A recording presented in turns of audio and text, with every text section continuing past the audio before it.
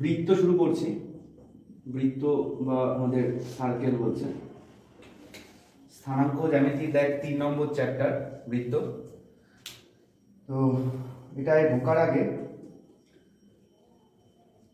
দু তিনটে জিনিস স্থানাঙ্ক জ্যামিতির ফার্স্ট বা সেকেন্ড চ্যাপ্টারে হয়তো পড়েছিস। বিভিন্ন সময় বিভিন্ন চ্যাপ্টারে ছিল। সেই জিনিসগুলো এই চ্যাপ্টারে কিন্তু কাজে লাগবে। এই চ্যাপ্টার বলে না এর পরবর্তী চ্যাপ্টারগুলো তো লাগবে। দেখবি নাম আছে, অধিবৃত্ত, উপবৃত্ত। সূচিপত্রটা দেখেছিস, খেয়াল করেছিস নিশ্চয়ই। তো প্রতিটা চ্যাপ্টারে কতগুলো জিনিস প্রতি মুহূর্তে কাজে লাগতে পারে? সেরকম দু তিনটে জিনিসকে আমি একটু আগে বলে নিই ধর, বলে নেব না, আমি তোদের কি কোশ্চেন করব ধর, দুটো বিন্দু আছে, একটা বিন্দু x one comma y one আর একটা বিন্দু আছে x two comma y two এবার আমাকে বল, এই বিন্দুর যে সংযোজক সরলরেখা, এবার টেনে দিয়েছি। একটা সাথে আরেকটা যুক্ত করে দিলাম। তাই এর একটা মধ্যবিন্দু থাকবে। এর মধ্যবিন্দু স্থানাঙ্ক কি লিখতে পারি আমরা? X one plus x two by two x one plus x two by two R y one plus y two by two y one plus y two by two ঠিক আছে? ভুজ দুটো যোগ করে দুই দিয়ে ভাগ কোটি দুটো যোগ করে দুই দিয়ে ভাগ। এটা হলো আমাদের মধ্যবিন্দুর স্থানাঙ্ক। তাই? আচ্ছা। এবার আমাকে বল যে এই স্থানাঙ্কটা এ আর বি নাম দিলাম। তাহলে এ বি সরল লেখার সমীকরণ আমরা কি লিখতে পারি বলতো? এটা এক নম্বর চ্যাপ্টারে ছিল বা কি ক্লাস নাইনে ছিল নাকি? আর এটা কি? দুই নম্বরের চ্যাপ্টারে যে এ বি সরল লেখাটার সমীকরণ কি? দুই নম্বর চ্যাপ্টারে দুটো বিন্দু দেওয়া থাকলে সরল লেখার সমীকরণটা কি হয়?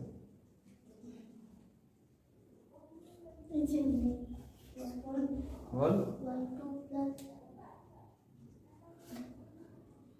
দুটো মানে দুটো ভগ্নাংশের মতো করে হবে কিন্তু মনে ভগ্নাংশের মতো করে হবে কেমন হবে দেখতে?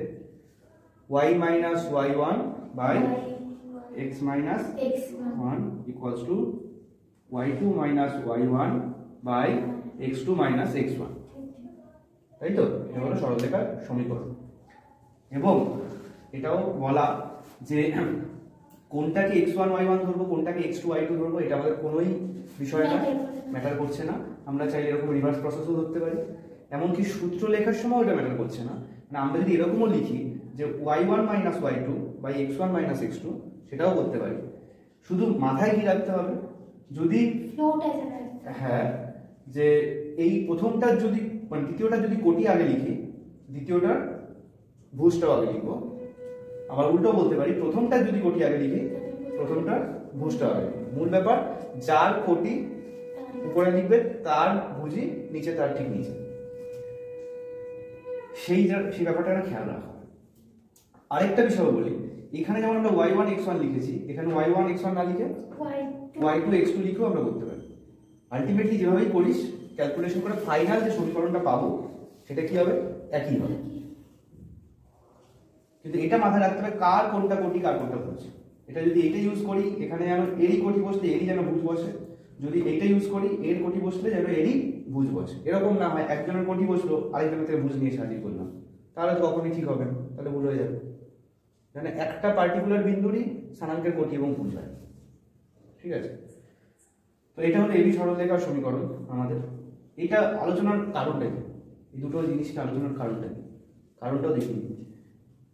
একটা বৃত্ত যদি এরকমভাবে যায়, এটা যদি বৃত্তের কেন্দ্র হয় এটা দিয়ে কি বোঝাচ্ছি বৃত্তের? ব্যাস।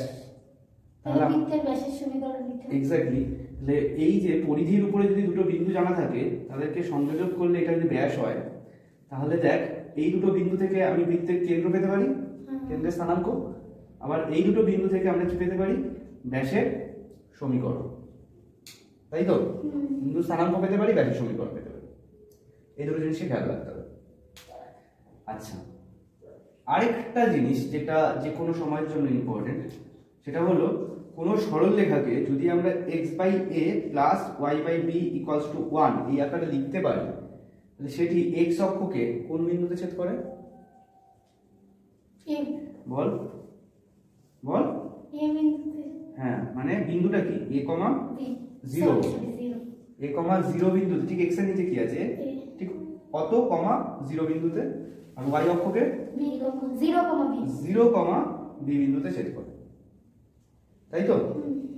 ক্লিয়ারলি এই দৈর্ঘ্যটা আমাদের এই দৈর্ঘ্য এই দৈর্ঘ্যটা আমাদের বি দৈর্ঘ্য। এইটা কিন্তু মনে রাখতে হবে। এমনকি যদি কোনো একটা সমীকরণ এরকম থাকে two x minus three y equals to six তাহলে এইটাকে আগে এই আকারে লিখতে হবে। তার জন্য কি ডান দিকে ওয়ান আছে? কিন্তু এখানে ডান দিকে কি আছে? সিক্স আছে তাহলে কি করব প্রথমে? সিক্সটা আমি দুটো নিচে দুটো নিচে নিয়ে এসে অ্যাকচুয়ালি ভাগ করে দেবো। By two two two one এবার আবার ফর্মুলাটা অবজার্ভ করি আমরা এখানে কি আছে মাঝখানে? প্লাস কিন্তু এখানে কি আছে? মাইনাস তাহলে এখানে মাইনাস রাখা যাবে না এখানে কি করব? জোর করে যদি প্লাস করি তাহলে মাইনাসটা কোথায় যাবে? ওয়ানের পাশে। ওয়ানের পাশে কেন? টু এর পাশে। ওয়ান তো একটা আছে। এই মাইনাসটা এখানে গুণ হয়। তাহলে এখানে যদি আমরা জোর করে প্লাস করি তাহলে এই মাইনাস সাইনটা এখানে যাবে টু এর পাশে তাহলে এটা এক্স অক্ষকে কোন বিন্দুতে ছেদ করছে? জিরো ওয়াই অক্ষকে মাইনাস টু ঠিক আছে? তো এই ভিউটা স্বচ্ছ রাখা খুব জরুরি কারণ এই দু তিনটে পয়েন্ট যে কোনো চ্যাপ্টারের জন্য হেল্পফুল এর বাইরেও আরও অনেক কিছুই লেগে যেতেই পারে। তার জন্য বলব ফার্স্ট আর সেকেন্ড চ্যাপ্টারে যা যা সংক্ষিপ্তকরণে লেখা আছে মানে মেন ব্যাপার যা যা ফর্মুলা সেগুলোও দেখবি ভালো এই চ্যাপ্টারটা রানিং চলাকালীন ওই আগের দুটো চ্যাপ্টারের ফর্মুলাগুলো দেখবি। সংক্ষিপ্তকরণ দেখলেই যথেষ্ট। এর বাইরে যদি কোনো এক্সট্রা লজিক বা এক্সট্রা জিনিসগুলোকে আরেকটু নাড়াচাড়া করার প্রয়োজন মনে হয়, তাহলে ভিডিও তো আছেই ইউটিউবে সেই ইউটিউবে স্ট্রিট লাইনটা খুঁজে একটুখানি দেখবি। ঠিক আছে? আচ্ছা। এখন বৃত্তে যদি প্রপারলি ঢুকি আমরা এখন এই বৃত্ত চ্যাপ্টারে আমরা কি শিখতে চাইছি? ছোটবেলায় বৃত্তের কি কি শিখেছিস হুম? হ্যাঁ। আয়তন কোন বৃত্তের আয়তন? মানে পরিধি। হ্যাঁ। পরিধি কোনটা? এটি তো পরিধি। হ্যাঁ। বৃত্তের আর কি থাকে? কেন্দ্র হ্যাঁ। আর ব্যাসার্ধ? ব্যাসার্ধ থাকলে একটা ব্যাস থাকে তাই তো? আর এটাকে কি বলে? যে জ্যা এই সমস্ত জিনিস নিয়ে আমরা বৃত্ত জানি। এখন যদি আমরা ব্যাসার্ধের দৈর্ঘ্য জানি আর পরিধি কি লিখতে পারি? টু পাই আর আর ক্ষেত্রফল কি লিখতে পারি? পাই আর স্কয়ার কিন্তু এই বিষয়গুলো দেখ সব পরিমিতির বিষয়। যেখানে আর কি সব কিছু পরিমাণ নিয়ে আলোচনা হতো। এটা বলতে পারি। বা একটা মেজারমেন্ট করছি। হ্যাঁ এটা জিনিসটা মেজারমেন্ট করছি। যে এখানে আমরা বৃত্তে কি শিখতে চাইছি আর?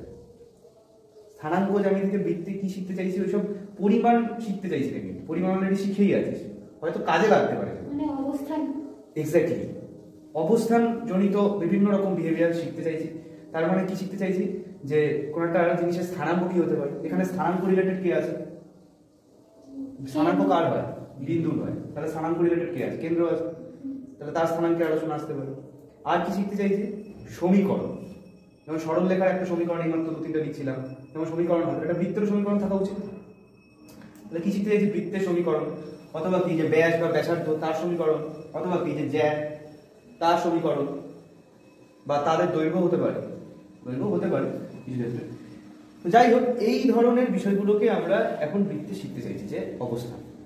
ঠিক তো এখন আলোচনাটা কীভাবে আনা যেতে পারে দেখ। প্রথম কথা বলি যে একটা সমীকরণ বললেই সেখানে কি থাকাটা দরকারি সবচেয়ে প্রথম? দুটো বিন্দু। দুটো বিন্দু না যে কোনো একটা সমীকরণ তোকে লিখতে বলবে। সে সমীকরণে কি থাকে? হ্যাঁ, বল চলরাশি। চলরাশি থাকাটা দরকার। সেটা একটা চলরাশি হতে পারে। সেটা দুটো চলরাশি হতে পারে।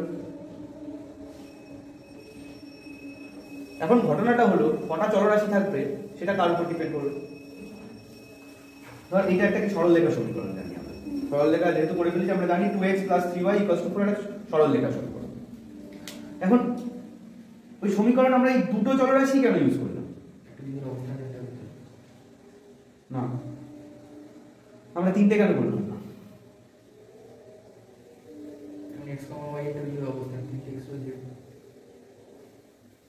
তিনটে একটা বিন্দুর অবস্থান এক্স ওয়াই জেড দিয়েও বোঝানো যেতে পারে।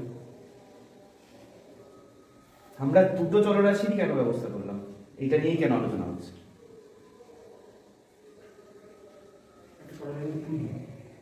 ডি এইটা হলো আসল কথা টু ডি বা দ্বিমাত্রিক।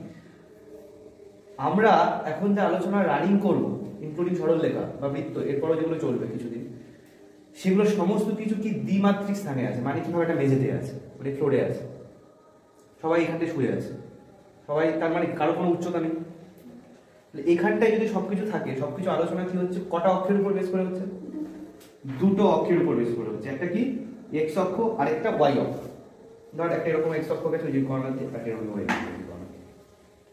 অক্ষ সবকিছু মেঝেতে আলোচনা চলছে। এখানে তুই যা আঁকি বুকি কাটবি তার জন্য বিভিন্ন সমীকরণ তৈরি হতে পারে। সেই সব সব সমীকরণে কি দিয়ে এক্সপ্রেস হবে? এক্স আর ওয়াই যেহেতু দ্বিমাত্রিক স্থান টু ডাইমেনশনাল টু ডি এবার যেই একটা উচ্চতা তৈরি হয়ে যাবে তাহলে একটা স্ট্যান্ডার্ড উচ্চতা তৈরি হয়ে গেছে ঠিক আছে? তাহলে এটা কি হয়ে গেল? এটা কিন্তু মাটিতে শুয়ে নেই এটা, দাঁড়িয়ে আছে।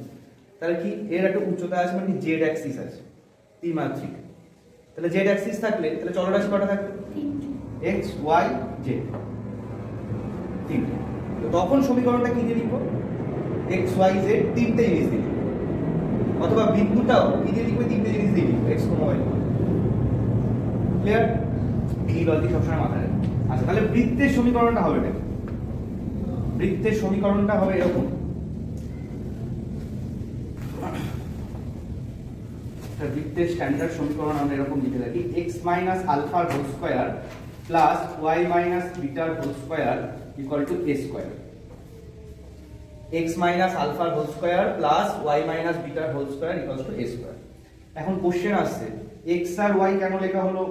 বুঝে গেছি আমরা আশা করি। সমীকরণ দুটো চলরাশি থাকতে হবে তাই ওকে তাহলে আলফা বিটা আর এ এলো কোথা থেকে তা- বা এদেরকে দিয়ে কি বোঝানো হচ্ছে? আলফাবিটাকে বিন্দু দুটোকে ইয়ে করছে? কোন বিন্দু দুটো? বিন্দু দুটো কোথায়? মানে একটা বৃত্তে কনফার্মলি কোন বিন্দুটা আছে? আমরা যেটা আমি জানি কেন্দ্র। একটা বৃত্ত বলতো কোন দুটো জিনিস ছাড়া কখনো আলোচনায় আসতে পারে? বেসিক কোন দুটো জিনিস ছাড়া? ব্যাসার্ধ আর কেন্দ্র। অ্যাকচুয়ালি এই যে তিনটে জিনিস দিয়ে ওগুলোকেই কোনো না কোনোভাবে বোঝাচ্ছে? না, আলফা আর বিটা দিয়ে কি বোঝাচ্ছে? আলফা বিটা দিয়ে বোঝাচ্ছে বলে অ্যাকচুয়ালি কেন্দ্রের স্থানাঙ্ককে বোঝাচ্ছে। ক্লিয়ার আলফা বিটা দিয়ে বোঝাচ্ছে যে আলফা কমা বিটা এটা দিয়ে বোঝাচ্ছে কেন্দ্রের স্থানাঙ্ককে বোঝাচ্ছে। আচ্ছা এখন আমাকে বল কেন্দ্রের স্থানাঙ্ক যদি টু কমা মাইনাস থ্রি হয় তাহলে এই জায়গাটা আমরা কি লিখতে পারি?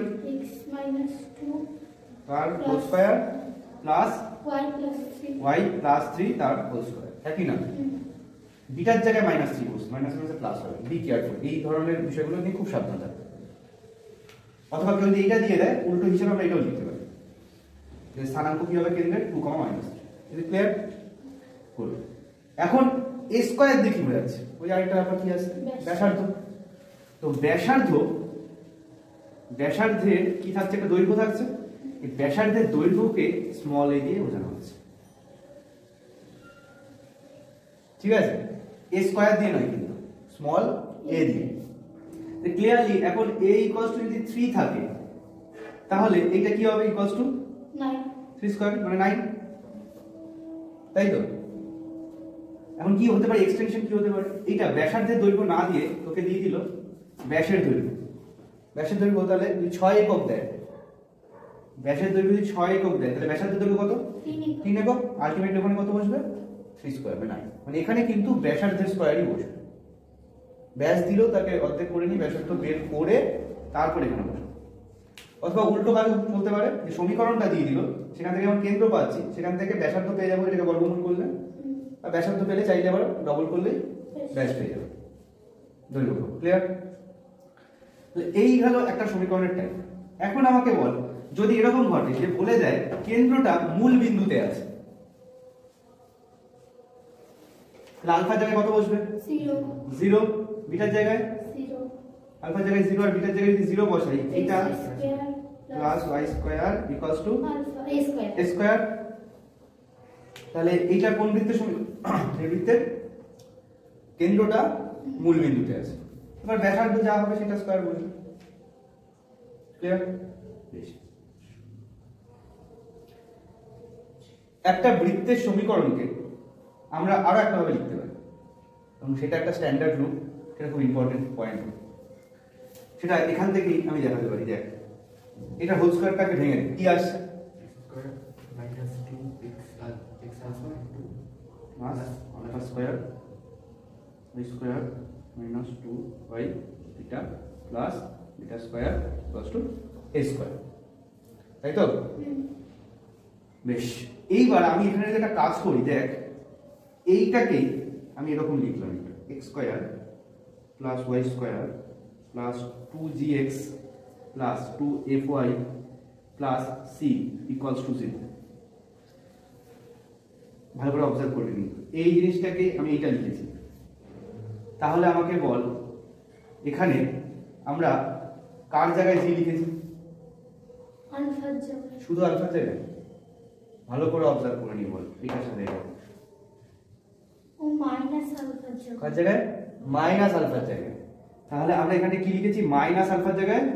জি লিখেছি। এফ কার জায়গায় লিখেছি? মাইনাস বিটা মাইনাস বিটার জায়গায় এফ লিখেছি। একই না? ঠিক আছে? আচ্ছা সি কার জায়গায় লিখেছি? কি কি বাদ গেছে দেখতে এখান থেকে? আলফা স্কোয়ার আর বিটা স্কোয়ার স্কোয়ার এ স্কোয়ারটাকে বাদ. লিখেছি মাইনাস এ স্কোয়ার তাহলে সি কার জায়গায় লিখেছি? সিটা লিখেছি হলো alpha square plus beta square minus a স্কোয়ারের জায়গায় সি লিখেছি। বল এই তিনটে জিনিস দিয়ে এটাকে চেঞ্জ করা হয়েছে কিনা সমীকরণটা? একই না? এবার এই যে সমীকরণটা পেলাম এই সমীকরণটা কিন্তু বৃত্তের মানে একদম স্ট্যান্ডার্ড সমীকরণ মেইন স্ট্যান্ডার্ড সমীকরণ এবং বিভিন্ন যে অঙ্ক করবি সেই অঙ্ক করার জন্য কিন্তু এই সমীকরণটাই বেশি পারবে কাজে লাগবে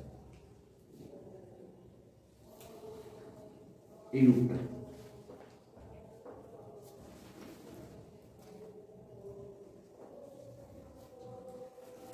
এখন এখানে কোশ্চেন আসছে একটা দেখ মাইনাস আলফা যদি জি হয়, তাহলে আলফার ভ্যালু কি? মাইনাস জি বিটার ভ্যালু কি? মাইনাস এফ আমরা একটু আগে কি শিখলাম? যে বৃত্তের কেন্দ্রের স্থানাঙ্ক কি? আলফা কমা বিটা তাহলে আলফার জায়গায় মাইনাস জি আর বিটার জায়গায় কি বসছে? মাইনাস এফ তাহলে কেন্দ্রের স্থানাঙ্ক এই সমীকরণ থেকে কি হবে? মাইনাস জি কমা একই না। হ্যাঁ ক্লিয়ার হচ্ছে? মাইনাস জি কমা মাইনাস এ তাহলে দেখা যায় কি- কেমন ভাবে অঙ্কটা কি হতে পারে। ভাব তোকে এখানে টু জি এক্স দেয়নি। এখানে দিল কি? ফোর এক্স তাহলে আমাকে বল যে টু জির ভ্যালু কত? টু জির ভ্যালু কত? নর্মাল চল পর পর টু জির ভ্যালু কত? সরাস তুলনা করব টু জির ভ্যালু ফোর তাহলে জি এর ভ্যালু কত? টু তাহলে মাইনাস জি ভ্যালু কত? তাহলে আমরা এখানে মাইনাস টু পেতে পারি। একই না? এখন এখানে টু এফ ওয়াই দেয়নি, এখানে ধর দিল মাইনাস সিক্স ওয়াই খেয়াল করি minus six y was step y sir তাহলে টু এফ এর ভ্যালু কত? মাইনাস সিক্স টু এফ এর ভ্যালু কত? মাইনাস সিক্স তাহলে এফ এর ভ্যালু কত? থ্রি তাহলে মাইনাস এফ এর ভ্যালু কত? থ্রি আমাদের কোন ভ্যালু দুটো লাগবে? মাইনাস জি আর মাইনাস এফ এর ভ্যালু তাহলে এখানে কি হবে? Minus two comma three. এরকম ভাবে আমরা বের করতে পারব? যদি এরকম x square plus y square plus four x minus six y এরকম ভাবে দেওয়া থাকে হ্যাঁ সেটা আছে। এখন যদি এরকম ভাবে পরপর দেওয়া থাকে তাহলে আমরা কেন্দ্রের স্থানাঙ্ক বের করতে পারব?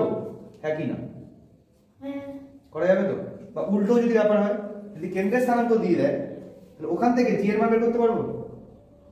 জি এর মানটা কিন্তু তখন এরকম এটা এইটাকে মাইনাস জি লিখে নিয়ে উল্টো দিকে হাঁটতে হবে বলতে ঠিক আছে? ক্লিয়ার আচ্ছা। এইবার কোশ্চেনটা হচ্ছে এখানে, কেন্দ্রের স্থানাঙ্ক যেমন পেলাম, ব্যাসার্ধের দৈর্ঘ্য পাওয়া উচিত। এখানে ব্যাসার্ধের দৈর্ঘ্য ডাইরেক্ট এখান থেকে পাচ্ছিলাম। A square equals to something আছে এবার বর্গমূল করে দিলে এর মান পেয়ে যাচ্ছি। তাই তো? এখান থেকে সি দেখে ব্যাসার্ধের দৈর্ঘ্য পাবো থেকে? তার জন্য ওই সমীকরণটা আমাদের ফলো করতে হবে। আমরা কি পেলাম? Alpha square plus beta square minus a square equals to c আচ্ছা এখান থেকে আমাকে বলতো আমি এরকম লিখতে পারি কিনা? A square equals to alpha square plus beta square minus c লিখতে পারি? আচ্ছা এইবার এ ইকুয়ালস টু কি লিখতে পারি? Root over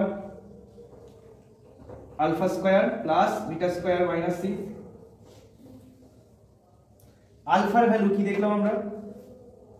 মাইনাস জি মাইনাস জির হোল স্কয়ার হলে কি হবে?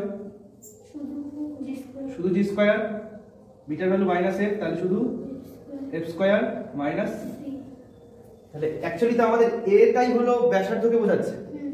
তাহলে ব্যাসার্ধের দৈর্ঘ্যের সূত্র কি root over g square plus f square minus c এখন ধর সি এর জায়গায় তোকে দিয়ে দিল মাইনাস থ্রি সি এর জায়গায় তোর আছে এখানে এই অঙ্কটার ক্ষেত্রে মাইনাস থ্রি আছে। তাহলে কি কি বসবে? বল জি কত পেয়েছি? জি পেয়েছি মাইনাস টু আর এফ কত পেয়েছি? থ্রি মাইনাস যাই হোক জি পেয়েছি অ্যাকচুয়ালি যদি বলিস জিটা টুই পেয়েছি শুধু। আর এফটা মাইনাস থ্রি পেয়েছি।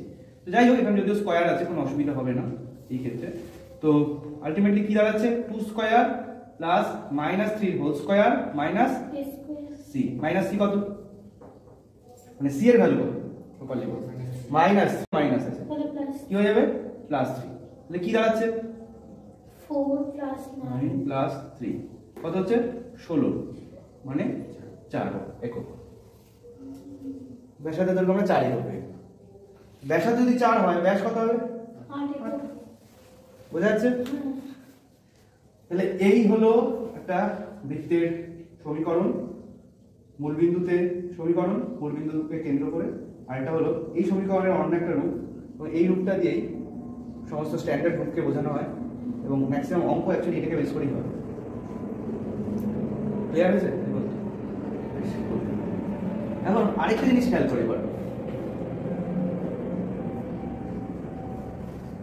একটা বৃত্ত কে ভাব এরকম ভাবে আমি এখান দিয়ে ভাব বৃত্তটা এমন ভাবে গেছে, ধর, ওর এক্স অক্ষরে ভাবে গেছে ওর ওয়াই অক্ষরে ভাবে গেছে। তাহলে বৃত্তটা এক্স অক্ষকে কোনটুকু জায়গায় ছেদ করেছে? এটুকু জায়গায় এটাকে কি বলতে পারি বৃত্তের একটা? যে জ্যাক এই দৈর্ঘ্যটা নির্ণয়ের একটা সূত্র আছে। এই দৈর্ঘ্যটা নির্ণয়ের সূত্রটা বলছে আমরা এই যে এতক্ষণ যে জি এফ সি দিয়ে করছিলাম ওখান থেকে বের করা যায়। এই এই শুধু মাত্র এইটুকু দৈর্ঘ্য। কি হবে এইটুকু জ্যায়ের দৈর্ঘ্য হবে? Two into root over g square minus c two into root over g square minus clearly আমাদের হাতে জি এর মান আছে। সব ক্ষেত্রে বৃত্তের যে দৈর্ঘ্য এটাই হবে। সব জায়গায় দৈর্ঘ্য না। আমি এখানে কি এঁকেছি? এক্স অক্ষকে কোনটুকু জায়গায় কাট করেছে বৃত্তটা? শুধুমাত্র এই জায়গাটুকু পেলাম। এবার এখান থেকে যা খুশি জায়গা যদি আমরা আঁকি সব জায়গার দৈর্ঘ্য আমরা এটা বের করতে সূত্র করতে পারছি। শুধু কোনটাকে পেলাম? বৃত্তটা যেখানে এক্স অক্ষকে ছেদ করেছে এক্স অক্ষকে ঠিক কতটা দৈর্ঘ্যে কাট করছে? এক্স অক্ষ থেকে কতটা দৈর্ঘ্য কেটে নিয়েছে? এটা বলতে পারি ঠিক এইটুকু দৈর্ঘ্য কেটেছে? সেইটুকু দৈর্ঘ্যটা কি two into root over g square minus আর ওয়াই অক্ষকে কতটা? টু ইন্টু বল লজিক্যালি বল টু ইন্টু রুট ওভার হ্যাঁ এক্স স্কোয়ার মাইনাস সি সেটা হলো এইটুকু। বোঝা যাচ্ছে? বেশ।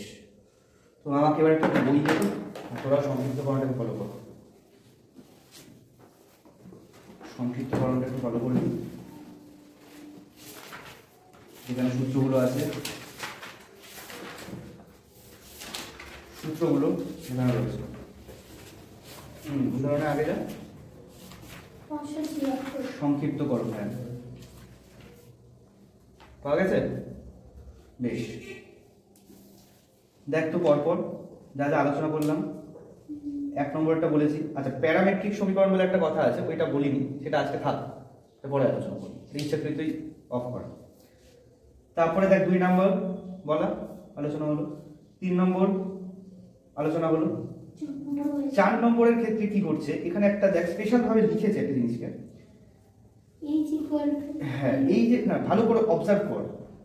এখানে দেখ এ এক্স স্কোয়ার এখানে কি আমি এ লেখা আছে কোথাও? কোথাও এ লেখা আছে? এ লেখা আছে? এখানে বি লেখা আছে? নেই। ওটা লিখেছে। আচ্ছা আরেকটা কি আছে?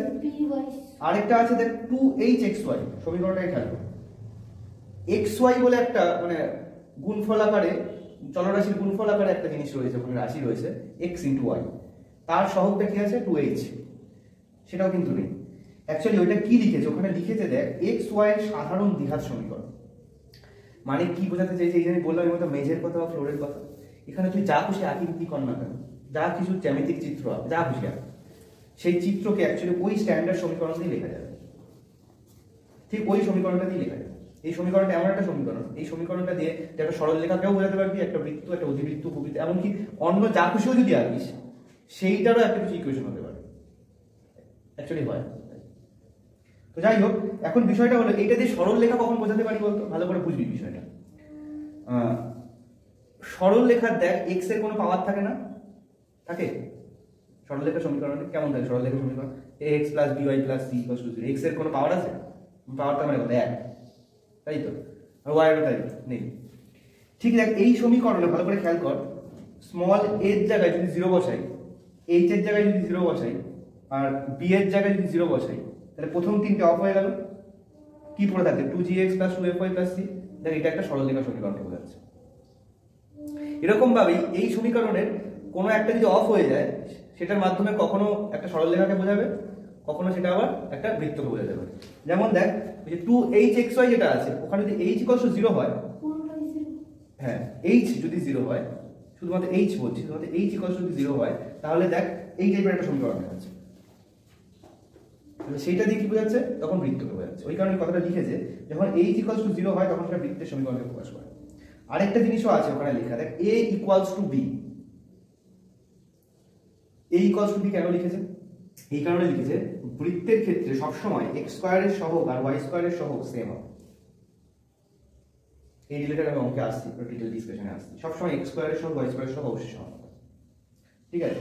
তবে চার নম্বর যে ওখানে জিনিসটা রয়েছে, ওইটা সেই অর্থে কোনো কাজে লাগবে না এই চ্যাপ্টারে এটা বলতে পারি হায়ার স্টাডিজের জন্য লাগতে পারে ঠিক আছে?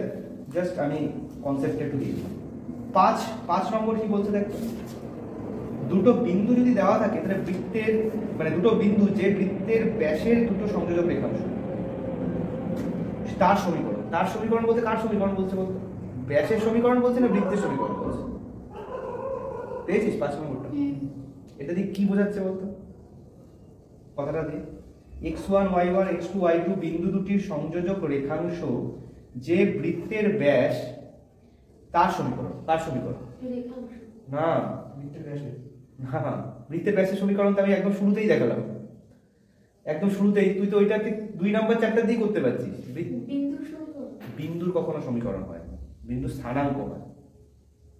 তার সমীকরণ মানে কার ভালো করে বোঝ আমি দেখ পর ভালো করে। কার সমীকরণের কথা বলছে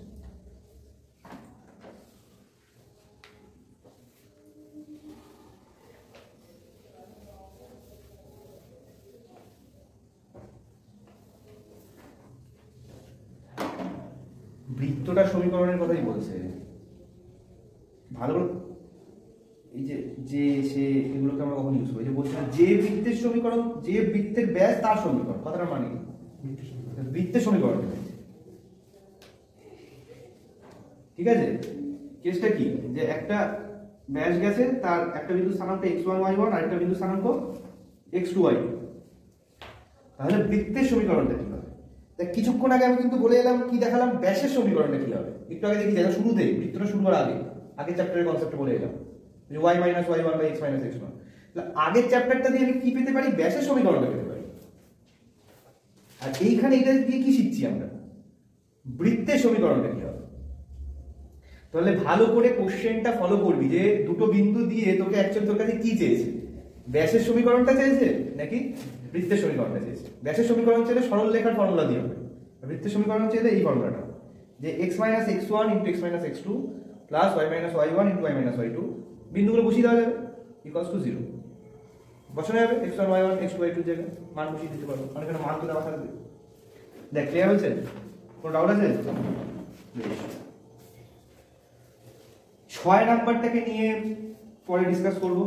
পরে বলতে পরের দিনই ডিসকাস হবে। হঠাৎ করে এখনই মাথায় ঢুকে লাভ নেই।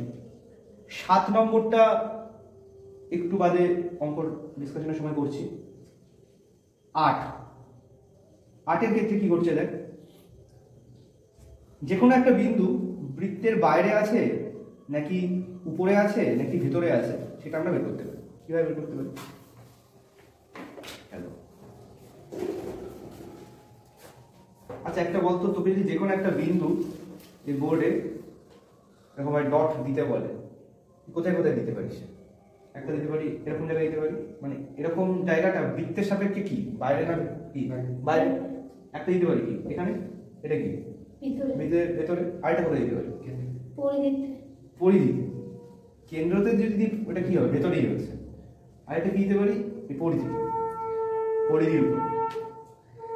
এখন এইটাকে মাথায় রাখাকে যে পরিধির উপরে যেটা থাকে সেই বিন্দুটা বৃত্তের সমীকরণকে কি করবে বলতো?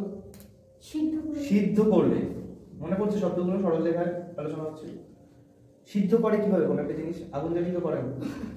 কীভাবে করে মানে যে সমীকরণটা থাকবে হ্যাঁ যে সমীকরণটা থাকবে, যেমন সরল লেখার ক্ষেত্রে two x plus three y equals two six একটা সরল লেখা গেছে। এই সরল লেখার উপরে কোনো একটা বিন্দু যদি একটা থাকে থ্রি কমা জিরো তো আমরা কি করব? এক্সের জায়গায় কি বসে? ভুজ। আর ওয়াই জায়গায় কোটি। এরকম যতগুলো এক্স থাকবে, ততগুলো এক্সের জায়গায় তার ভুজ বসবে যতগুলো ওয়াই থাকবে তার জায়গায় তার কোটির মানটা বসবে বসিয়ে যদি দেখি তার বাম পক্ষ আর ডান পক্ষ, খেয়াল করতে হবে। বাম পক্ষ আর ডান পক্ষ সমান হচ্ছে। বাম পক্ষ আর ডান পক্ষ যদি সমান হয়, তাহলে বলতে পারি সেই বিন্দুটা সরল লেখা কি করছে? সিদ্ধ করছে। একই কনসেপ্ট শুধু সরল লেখা না, বৃত্ত হোক অধিবৃত্ত হোক, এমনকি টু ডাইমেনশন বা থ্রি ডাইমেনশনের যে কোনো জিনিস হোক। টু ডি থ্রি সেখানে তার বিন্দুটাকে বসিয়ে যদি বা আমার ডান পক্ষটা সেম তাহলে বলতে পারি বিন্দুটা ওই জ্যামিতিক চিত্র বা জিনিসটাকে কি করছে? সিদ্ধ করছে মানে ইংরেজি বলে স্যাটিসফাই করছে।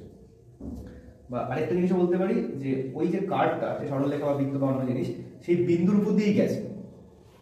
সেটা আমরা ওই জায়গা থেকে প্রমাণ করতে পারি। বিন্দুর উপর দিয়ে গেছে কি যাই যে ক্লিয়ার আচ্ছা এখন এইখানে কি করব? এখানে আমরা দেখব যে x square plus y square equal to half আছে?